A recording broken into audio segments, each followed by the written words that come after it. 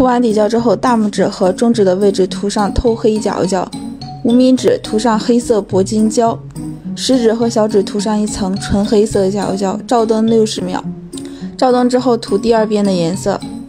中指上面涂上一层金饰猫眼，拿吸铁石竖向去吸出宽猫眼的形状。吸完之后照灯六十秒，整手做纯色的话也比较好看。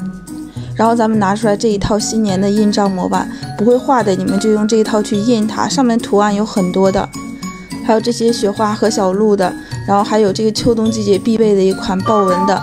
然后咱们用的时候呢，把底下垫两张纸，嗯，印章模板撕掉蓝膜之后，上面涂上一层黑色印花油。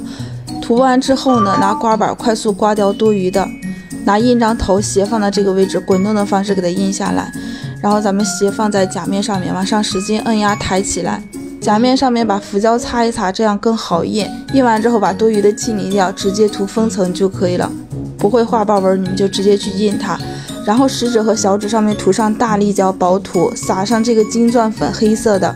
撒完之后呢，往下摁压一下，然后再照灯六十秒。撒到多余的粉就可以了。无名指的位置上，嗯，涂上一层擦洗粉，能擦掉浮胶，然后去粘上满钻。大拇指上做了一半金石猫眼，往上印一半的这个豹纹就可以了。多余的拿一个清洁棉片去给它擦掉就行了。然后往上涂钢化封层，边上的位置涂大力胶，然后咱们给它做一半的这个黑色金钻粉。撒完之后呢，照灯，中间的位置粘一根链条去搭配一下，这样整手就做完了。拍完印章不会用的豹纹的款式，可以搭配这种黑色的金钻粉，整手是这种黑色系的，然后中间跳了一颗钻，喜欢的